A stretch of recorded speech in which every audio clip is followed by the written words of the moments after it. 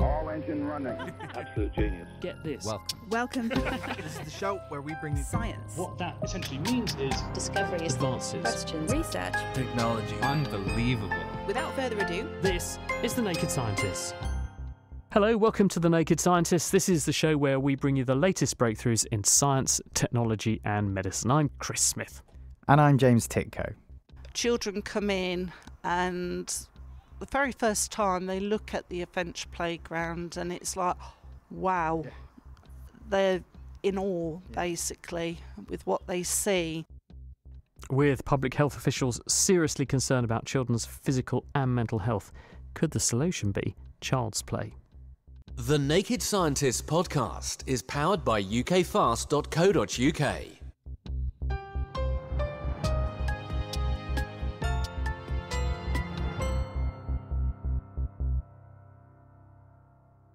Now, this week we're looking at the public health challenges facing children growing up in 21st century Britain. The Commission for Young Lives, set up in 2021 to safeguard the most vulnerable kids in the wake of the pandemic, have used the word disaster to describe the current state of children's mental health. Meanwhile, when it comes to physical health, the WHO have warned that the UK is on the verge of a child obesity epidemic. With us to explain why the language used to describe young people's health has turned quite so grave, and to put some numbers on this, is Andrea Smith. She's from the MRC's epidemiology unit at the University of Cambridge, where she specialises in children's health. So, Andrea, what's the scale of this? So I think when we think about child physical health, one of the main indicators that we can look at is childhood obesity. The UK National Child Measurement Programme released some data which showed that we have seen the highest annual rise in childhood obesity rates in the last decade. So we now know that actually by the time a child starts primary school, nearly 28% of children already have obesity, overweight, and by the time that they leave primary school, just under 41% already have childhood um, obesity and overweight. And these numbers really speak to a, a grave scale of the problem. Childhood obesity, of course, is shaped by many complex factors, but during the pandemic, all children were told to stay at home and were losing out on a lot of other social structures and systems. I recall seeing the report that was titled The State of the Nation's Waistlines, which actually predated the pandemic. And in that, we saw this already happening. So we can't just blame COVID for this. So, why are we seeing this inexorable and now accelerating rate of childhood obesity in such young kids? So, when we look at trends in childhood obesity, there is a huge divide in terms of social deprivation. So, we know when we look at these numbers that children living in the most deprived areas are actually twice as likely to have childhood obesity compared to children who live in less deprived areas. And when we look at the numbers, we can also see that actually ethnicity is also closely linked to child weight, with particularly black children more likely to be living with obesity. And what do you attribute that to? So we know that deprivation affects health behaviors. So families that are struggling to put aside money to purchasing healthy foods are more likely to resort to higher calorie and less nutrient dense snacks and also are less likely to have the um, extra money to put into expensive kind of hobbies. So children tend to have less higher quality diets and also tend to move less, which overall results in a positive energy balance, which increases their risk for childhood obesity. But we have always had people who are poorer in society. So if it was purely how well off you are, then surely we should have seen this trend a long time ago and we didn't. It's much more recent than that, isn't it? So there must be other factors alongside the, the, the very important issues of deprivation and the points you've made. Of course. So it is this um, goes hand in hand with changes in our environment. So we know that our current environments are incredibly what we like to call obesogenic. They make very palatable and high energy dense foods easily available and they, they make movement less kind of appealing and less of a, an easy option, so, which results in an overall positive energy balance. What about the other important thing we raised at the top of the programme, Andrea, which is mental health and ill health? What's happening there? So, of course, physical and mental health are closely related in lots of different ways. But we also can see from data that were released by the Health Foundation that as a result of the pandemic, a lot more children and young people have been accessing mental health services. And this speaks to the loss of their usual routines and usual support mechanisms and their ability to connect with friends. And I mean, one only has to think think of back in deep dark lockdown days where we lost the ability to have contact with friends. And I think this is really important in the early years where social contact is very important for mental health. And it's all linked and feeds back, doesn't it? Andrea, thank you very much indeed for bringing it all together for us. That was Andrea Smith. She's from the MRC Epidemiology Unit at Cambridge University. James. Andrea has outlined just there how important physical activity will be to any improvement in the mental and physical health of our youngsters, particularly those who are worst off. To facilitate this, they need places to play, and unfortunately, we don't always make it as easy as we should. Fields in Trust is a charity which aims to legally protect our parks and green spaces working with landowners and local authorities to ensure these sites are reserved for public recreational use indefinitely. Helen Griffiths, Chief Executive and a member of the Government's Parks Access Group, told me why their work is so crucial. So at Fields in Trust, we've done some research into this to try and look at what the overall provision of parks and green space access looks like across the whole of the country. And we know that approximately 3 million people live more than a 10 minute walk from a local park or green space.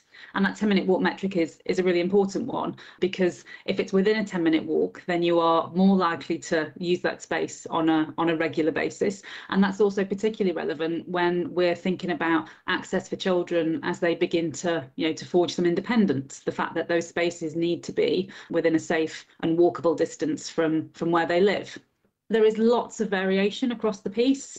And that's really interesting when we also start to think about where those inequities of provision are, because we know, again, from our green space index, that those areas that perform worst in terms of the amount of green space provision that they have 40% of those are in the highest priority areas for the government's levelling up agenda. So we know that there is a, you know, a correlation between those areas of, of deprivation, those more challenged communities, and not having good access to, to outdoor green space, which is really important when we think about the fact that one in eight households also don't have access to a private green space. So if you don't have a garden or a yard at home, the park is so much more important. It is your back garden what you're saying is that it's not all down to the pull of being indoors, to the pull of the games console or the iPad, but being pushed away from playing outside because of the limitations on access to parks and green spaces.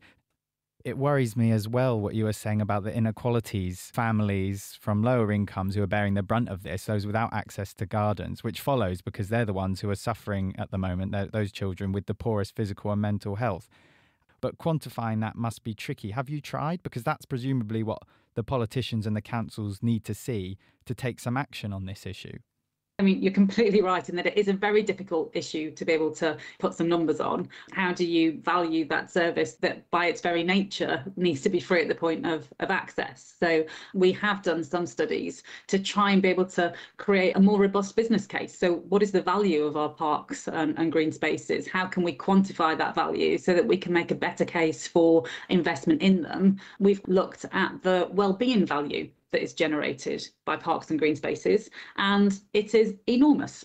So the well-being value is a whopping 34.2 billion pounds a year, and we arrived at that by looking at the ONS questions around subjective well-being. So what would it cost us to replace that well-being for the whole of the of the population if we needed to, if we didn't have access to those to those spaces? I think there's also a question around making sure, from a behavioural perspective, that we are encouraging children to be able to use those spaces and that they feel safe in those spaces. And obviously, parents are a big part of that in encouraging their children to participate in play and to take risks as part of that developmental piece that is so important as part of children's play. Helen Griffiths from Fields in Trust. The Naked Scientists podcast is produced in association with Spitfire, cost effective voice, internet, and IP engineering services for UK businesses. Find out how Spitfire can empower your company at spitfire.co.uk. Music in the programme is sponsored by Epidemic Sound, perfect music for audio and video productions. You're listening to The Naked Scientists with me, Chris Smith, and with James Tytko. Now, that last point that Helen made about children being given the freedom to use play areas whenever and in whatever way they see fit is regarded as central to this next part of the programme, and that's because we're going to be talking about adventurous or risky play. For those not entirely familiar with those terms, all will soon be made clear. I was lucky enough to be able to visit a special facility here in Cambridgeshire, the New Ark Adventure Playground in Peterborough. I spoke to some adventure play experts as well as some adults who have been studying and working in the area for years. Hello, my name's Samantha Brown and I'm the manager of New Ark. I'm Dr. Lily Fitzgibbon. I'm a researcher of child development in the Division of Psychology at the University of Stirling. My name is Robert Dighton and I'm uh, the Chief Executive at LHAP. LHAP is one of very few adventure playgrounds set up and designed for disabled children. Originally, adventure playgrounds were built in bomb sites. And the idea was that it was a space where children could build and destroy their own play spaces. They were the masters of their own play destiny. So, so it's quite a revolutionary concept. Adventure play is a microcosm of the play that we used to do 30, 40 years ago without giving it a name. It's the play that as, as children, most of us encountered when we'd play in the streets, by the rivers, in the forest. It was a sense of freedom, a sense where we learned our own limits, our own potential, our own abilities and disabilities. It, it was playing freely away and outside of the adult's world. It's the kind of play that that makes children shriek or kind of uh, bunch up their hands in excitement. But the, the idea is that they're they're taking some some risks, but they they're managing those risks themselves.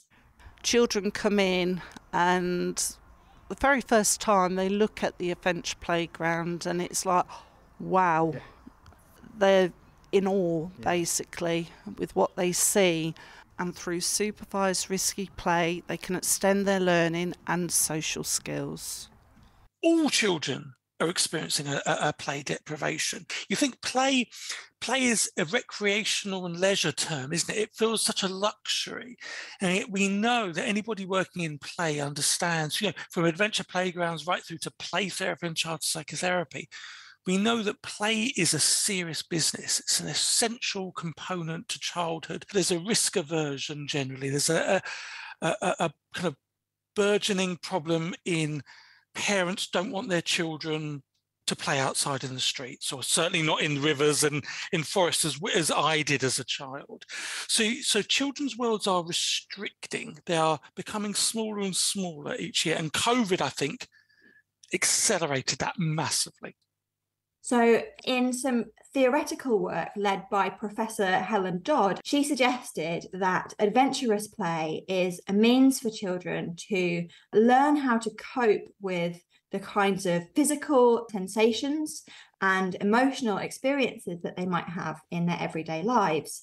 By having these experiences in a kind of positive, playful environment, they learn how to cope with them. And then if they come across them in more difficult situations, then they may be more resilient. And so we suggest that through these mechanisms, adventurous play may be a means of reducing um, or protecting children from anxiety. Yeah, my name's Claudia. And how old are you? I am nine, turning 10 this year. Brooke. And how old are you, Brooke? Uh, 11. 11. it took you a minute there. And what do you think? What do you make of it since you've been here? So, that black slide over there. Yeah. Yeah. Tell me, tell me about it. So basically, we have these cones that are near those tyres, which is my other favourite thing. Yeah, yeah. But we also have those cones where we can just originally just spin around on it on the floor.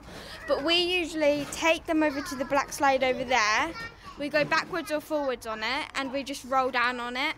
It's fun but dangerous as well. It looks a bit dangerous. Have you have you hurt yourself doing it yet? Um, um, I got a headache, um, but I, I always laughed every time I ever fell.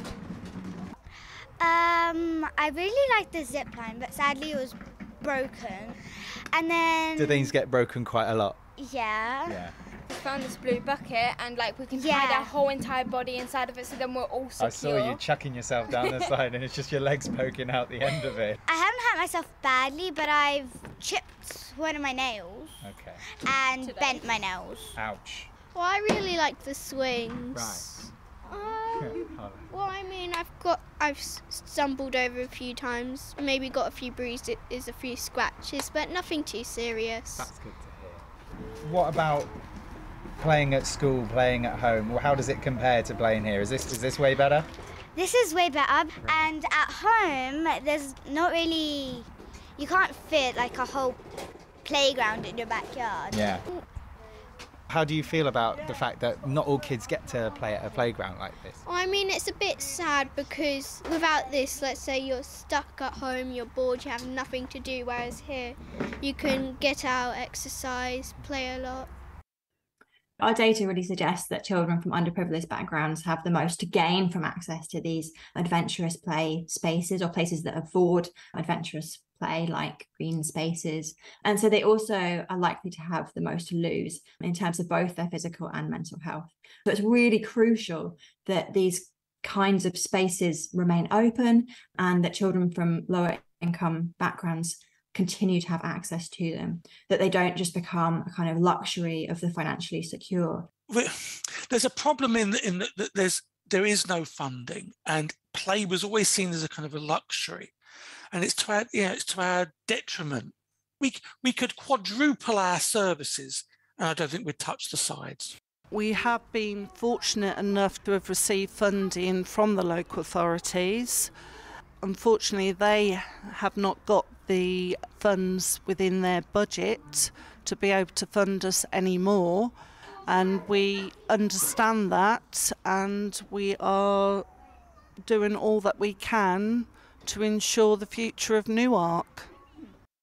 Thanks to Robert Dighton, Lily Fitzgibbon, Samantha Brown, and some of those children at the New Ark Adventure Playground. Did you ever go on anything? Did you did you chip any nails or? I felt I had to maintain my journalistic integrity, Chris, and, and I was just there to observe, I'm afraid. Now, this week uh, we're looking at the challenges that are facing kids that are growing up in 21st century Britain and countries like it. We've just heard about the struggle to promote adventurous physical play, which is judged by many to be critical to mental resilience and also good physical health. But the devil, as always, is in the detail. And Tim Gill is an independent researcher and writer. He's also a global advocate for children's play and the author of Urban Playground How Child Friendly Planning and Design Can Save Cities. And Tim's with us. One of the topics, Tim, that keeps on coming up again and again and again is the idea that, that children are now growing up in a gilded cage. We basically protect them, but we're doing that at their cost. So, what sort of damage are, are we potentially doing to children by doing this? Thanks for having me on. It's uh, I think what's happening is that sort of well-meaning attempts by adults, uh, parents, and others to protect children from all possible harm is actually depriving children of the kind of experiences that, uh, in reality, help them to learn how to cope and to get along in an uncertain world. And I, I think that there's always a balancing act here. But for for really some decades, I would say, um, culturally, there's been a shift towards what I sometimes call a, a, a kind of philosophy of protection, and that we need instead to, to remind ourselves of the value of allowing children to, to find out for themselves how to get along, how to deal with challenges, and, and how to cope with tricky situations. Indeed, one of our other producers on the programme said that when she was little, she used to go out and play on the street, and it wasn't till 10 o'clock at night, and mum would call out the window, time to come in, and everyone would come in. You just don't see that sort of behaviour anymore. Yes, I think I talk in my work about the sort of shrinking horizons of childhood, um, and and that children's everyday lives have become more and more constrained and more and more watched over by adults, and that's really a long-standing trend goes goes back generations, as, as you've hinted, and and there are complex reasons for that. Um, I actually think that the, the, the physical qualities of neighbourhoods uh, are one of the factors. You know, traffic is a real and, and present danger for children in many neighbourhoods, um, and that's in many neighbourhoods has been growing. But I think there is also this cultural shift uh, that, that, that, we've just talked about around around an overprotective mindset with children, and those two things come together, and children are the ones who lose out. Andrea was saying at the beginning that this is most marked in terms of physical ill health and mental ill health amongst the poorest communities. Does that apply necessarily here, though? Because is it that the kids with better off parents are more likely to have a cushioned life and therefore may be more at risk of, of having their horizons blunted in the way you're describing? Well, it's certainly true that the sort of everyday freedoms that children have vary from place to place and with different children, and obviously with children of different ages. Also, girls have much less freedom than boys, and that I think is significant. We don't know enough, I think, about the some of the social class aspects uh, of this, um, and so I, I, think you know it'd be easy to to sort of turn to stereotypes. Um, I, my hunch is that. Uh, if I could put it this way, sort of outdoor play and, and, an outdoor play culture is more resilient in some pockets of towns and cities than others perhaps for a combination of reasons, partly because of the, the physical properties of those neighbourhoods. Maybe you know traffic isn't such an issue, or there are uh, good space, green spaces nearby. Maybe also partly for cultural and social reasons to do with the the level of trust and, and the kind of contact between families. So I, I wouldn't want to make any wider generalizations than that. It sounds like the sort of growing up equivalent of the champions of the hygiene hypothesis who say we all need to play in dirt more because that's why we're seeing loads of allergies. Our obsession with sterility is giving our immune system nothing to do. This seems like the behavioural equivalent of that. So, what sort of solutions can you foresee that would be easily implementable to sort of row back onto this corner we've painted ourselves into? Um, I think that's quite a good analogy, um, by the way. And I'd say a, a couple of things. Firstly, you know, there, there are opportunities in schools, for instance, to open up school break times and lunch times to bring in a bit more adventurous and, and, and challenging free play. And there are actually hundreds of schools across the UK now that are, that are doing things like bringing in you know scrap materials and junk and and something that's not a million miles away from that adventure playground scene that we heard earlier and and and and teachers and school leaders are seeing amazing results uh, in terms of children's behaviour and just children enjoying their school life more. So that's one side. I think there's also really interesting work, and I'm promoting some of it in my own work around making neighbourhoods more child friendly, tackling traffic, uh, uh, you know, opening up green spaces, making it easier to walk and cycle around neighbourhoods, even simple things like um, having sessions maybe once a week uh, where the uh, through traffic in a street or through traffic outside a school is stopped for a few hours simply so that children can come out and play.